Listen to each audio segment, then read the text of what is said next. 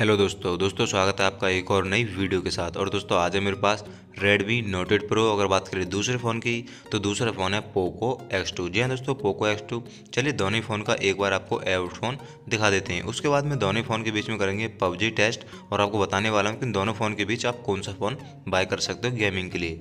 तो दोनों फ़ोन का एवट एवट फ़ोन मैंने आपको दिखाई दिया है। दोनों फ़ोन में एक साथ पबजी पर टैप करता हूँ और देखने वाले हैं कौन सा फ़ोन पबजी को पहले ओपन करने वाला है। दोनों फ़ोन की स्पीड भी देखने वाले हैं। दोस्तों, अगर बात करें रैम वेरियंट की तो बात करूँ पोको एक्स की तो मेरे पास है सिक्स रैम वहीं sixty four G internal storage के साथ वाला वेरिएंट है। अगर बात करें रेडमी नोट एट प्रो की तो ये भी सेम वेरिएंट है सिक्स जी रैम वहीं sixty four G B internal storage के साथ वाला वेरिएंट है। दोस्तों, अगर बात करें दोनों फ़ोन के प्राइस की तो इन दोनों फ़ोन का प्राइस लगभग सेम है, इसी वेरिएंट का सिर्फ़ एक हज़ार रुपये का अंतर है। तो दोनों फ़ोन का प्राइस और दोनों फ़ोन के स्पेसिफिकेशंस मैं आपको स्क्रीन पर दिखा दूँगा। अगर आपको वीडियो पसंद आए तो इस वीडियो को लाइक करिएगा। और दोस्तों, आपसे एक रिक्वेस्ट है, अगर आपने अभी तक हमारे चैनल सब्सक्राइब नहीं किया है तो चैनल को कर लेना है सब्सक्राइब और सब्सक्राइब करने के साथ ही बेलाइकन को ऑल पर सेलेक्ट ज़रूर कर लीजिएगा। दोस्तों, अगर बात करें स्पीड की तो पोको एक्स ने पबजी को पहले ओपन कर दिया है। जैसे कि आप भी पर देख पा रहे हो तो पोको एक्स ने पहले ओपन कर दिया है। चलिए दोनों फ़ोन की ग्राफिक्स आपको दिखाऊँगा। दोनों फ़ोन कौन कौन सी ग्राफिक्स को सपोर्ट करेंगे। हालाँकि ग्राफिक्स ग्राफिक्स आपको पता होगा, क्योंकि भाई मैंने दोनों फ़ोन की पहले भी वीडियो अपलोड कर रखी हैं। अलग अलग दोनों फ़ोन की सेपरेट वीडियो बनाकर अपलोड कर रखी हैं। चलिए, एक बार फिर आपको ग्राफिक्स दिखा देते हैं। दोनों फ़ोन कौन कौन सी ग्राफिक्स को सपोर्ट करने वाले हैं। तो एरो पर क्लिक करना होगा, उसके बाद सेटिंग्स का ऑप्शन हमें मिल जाएगा। उसके बाद ग्राफिक्स का ऑप्शन भी मिल जाएगा। चलिए स्मूथ में अल्ट्रा तक सपोर्ट करेगा, हमारा पोको एक्स और स्मूथ में एक्सट्रीम सपोर्ट करेगा रेडमी नोट एट प्रो अगर बात करें हाई ग्राफिक्स की तो Redmi Note eight Pro H D R plus ultra को सपोर्ट करता है। अगर बात करें पोको एक्स टू की तो ये एच डी प्लस हाई को ही सपोर्ट करता है। जहाँ दोस्तों एच डी प्लस हाई को सपोर्ट करता है। चलिए दोस्तों, अगर बात करें दोनों फ़ोन के प्रोसेसर के बारे में तो हमारे रेडमी नोट एट प्रो में आपको प्रोसेसर दिया गया है। मेरे टैक का हीलियो जी नाइन्टी का प्रोसेसर दिया गया है, जो कि काफ़ी पावरफुल प्रोसेसर है और काफ़ी अच्छे से आपको गेमिंग करा देता है, कोई प्रॉब्लम आपको नहीं होने वाली है। अगर बात करें पोको एक्स टू की तो इसमें आपको प्रोसेसर दिया गया है Qualcomm Snapdragon seven thirty G का प्रोसेसर दिया गया है। जी हाँ दोस्तों, सात सौ तीस जी का प्रोसेसर दिया गया है, जो कि एक न्यू प्रोसेसर है और काफ़ी अच्छे से आपको गेमिंग करा देता है। तो दोनों फ़ोन में प्रोसेसर आपको अच्छे दिए गए हैं। अगर बात करें दोनों फ़ोन के रैम वेरियंट तो वो भी आपको सेम मिल जाते हैं। अगर बात करें दोनों फ़ोन के कैमरे के बारे में तो इन दोनों फ़ोन में आपको सेम कैमरे दिए गए हैं। लेकिन क्वालिटी कौन से फ़ोन की अच्छी है, आपको ज़रूर बताऊँगा। कैमरे की क्वालिटी कौन से फ़ोन में आपको अच्छी मिल जाती है। चलिए दोस्तों, अगर बात करें पोको एक्स टू के जायरोस्कोप की तो पोको एक्स टू को जायरोस्कोप डिले नहीं है। आप काफ़ी अच्छे से गेमिंग इसमें कर लेते हो। जैसा कि आप इस पर देख पा रहे हो तो जायरोस्कोप ऑलवेज ऑन रखकर आपको कोई दिक्कत नहीं होने वाली है। जायरोस्कोप बिल्कुल भी डिले नहीं है।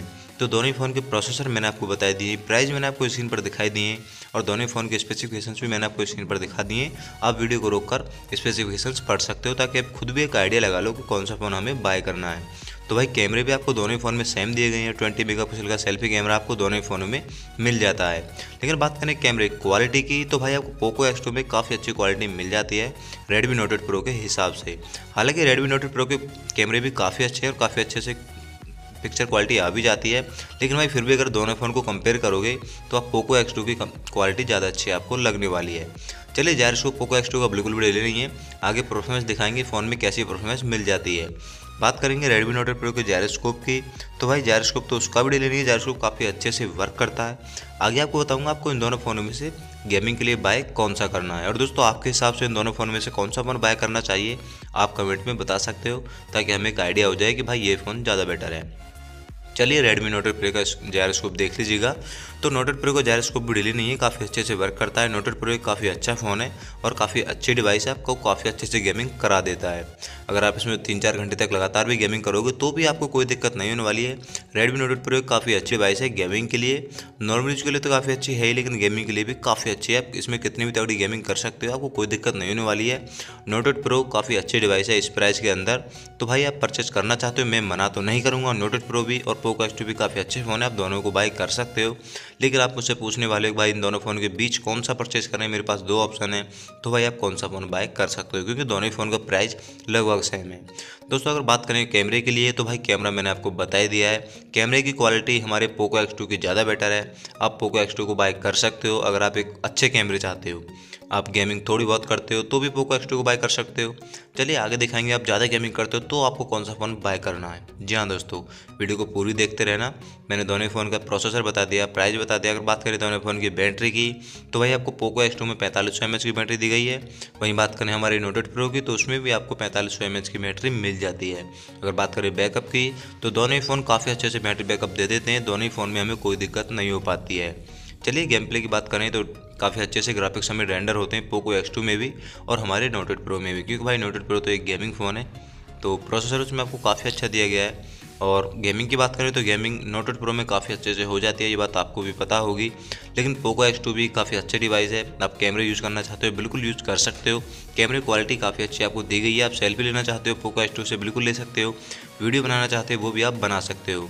दोस्तों फाइनली बात करें आपको कौन सा फ़ोन गेमिंग के लिए अभी बाय करना है। 2021 में गेमिंग के लिए इन दोनों फ़ोनों में से अगर आप कोई एक बाय करना चाहते हो तो आपको कौन सा फ़ोन बाय करना है?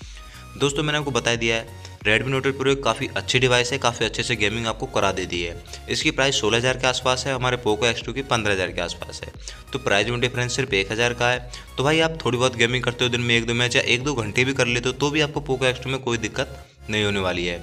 आपको एक अच्छे कैमरे चाहिए, कैमरे के साथ थोड़ी बहुत गेमिंग भी चाहिए। तो भाई पोको एक्स टू आपके लिए बढ़िया डिवाइस है, काफ़ी अच्छी डिवाइस है, कैमरे काफ़ी अच्छी क्वालिटी आपको इसमें मिल जाती है।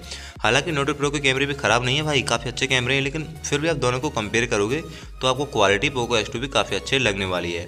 तो उस हिसाब से तो आप पोको एक्स को बाय कर सकते हो प्राइस भी थोड़ी कम है, और गेमिंग भी आपको करा देता है काफ़ी अच्छे से। लेकिन भाई अगर आप तीन चार घंटे या पाँच घंटे तक भी लगातार गेमिंग करते हो और आपको एक हाई लेवल की एक्सट्रीम गेमिंग चाहिए। तो भाई आप नोटेड प्रो को ही चुने। नोटेड प्रो काफ़ी अच्छी डिवाइस है। आप उसमें कितनी भी गेमिंग करो, आपको कोई दिक्कत नहीं होने वाली है। क्योंकि भाई एक टाइम के बाद पोको एक्स टू भी आपको लैग दिखा देता है फ्रेम ड्रॉप भी मिल जाते हैं। अगर आप इसमें तीन चार घंटे तक गेमिंग करोगे तो उतनी अच्छी डिवाइस नहीं है, आप इतनी लंबी गेमिंग करो। एक्सट्रीम गेमिंग करना चाहते हो तो आप रेडमी नोटेड प्रो को ही चुने। नोटेड प्रो काफ़ी अच्छी डिवाइस है, इन दोनों फ़ोन के बीच अगर आप कंपेयर करना चाहते हो तो भाई मेरी तरफ़ से रेडमी नोटेड प्रो आपको बाय करना चाहिए। दोस्तों, इस बारे में आपकी क्या राय है, आप मुझे कमेंट करके बता सकते हो। और दोस्तों, आपके हिसाब से कौन सा फ़ोन हमें गेमिंग के लिए बाय करना चाहिए? और कौन से फ़ोन के कैमरे अच्छे हैं? आपके हिसाब से आप वो भी मुझे कमेंट में ज़रूर बता सकते हो। दोस्तों, वीडियो को पूरी देख कर जाना। आगे मुझे किसी भी फ़ोन में कोई दिक्कत मिलेगी तो आपको बताकर ज़रूर जाऊँगा। मैंने आपको बताया दिया गेमिंग के लिए आपको कौन सा फ़ोन बाय करना है। दोस्तों, आपके पास आपके पास कौन सा फ़ोन है जिसमें आप गेमिंग करते हो? आप मुझे कमेंट करके बता सकते हो। अगर आप किसी और फ़ोन का कंपेरिजन टेस्ट देखना चाहते हो, भाई उसके साथ उसका टेस्ट करो, भाई इस फ़ोन के साथ उस फ़ोन का वी करो तो आप कमेंट कर दीजिएगा। दोनों फ़ोन के नाम मैं कोशिश करूँगा आपके हर कमेंट पर वीडियो बना दूँ। वरना आपको कमेंट में बता दूँगा, भाई इन दोनों के बीच में फ़ोनों के बीच ये फ़ोन बेस्ट है, आप इस फ़ोन को बाय कर लीजिए। चलिए दोस्तों वीडियो को लास्ट तक देखकर ज़रूर जाइएगा। आज की वीडियो में ये आपसे कुछ बताना चाहता था।